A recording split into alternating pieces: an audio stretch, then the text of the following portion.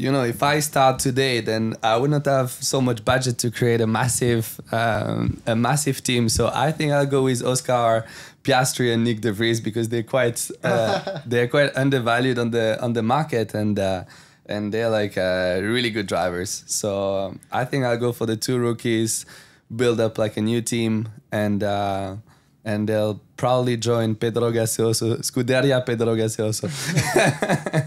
So you're going to underpay them. You're going to say, you know what? Here's a base entry level underpay, payment. But that that's how it works in any sport. You know, when you join initially, you know, you need to uh, you need to swallow it at the start, and then uh, and then after you Smart, make it smart. you make it up. But you could afford a driver coach at least. yeah, I'll, I'll take I'll take Seb as a driver coach. I'll take Seb as a driver coach. How's me?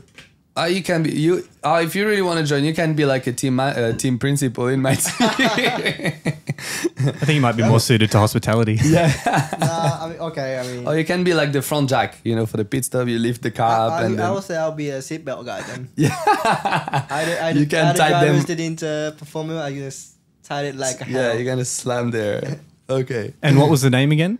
Pedro Gas Scuderia Pedro Gaseoso.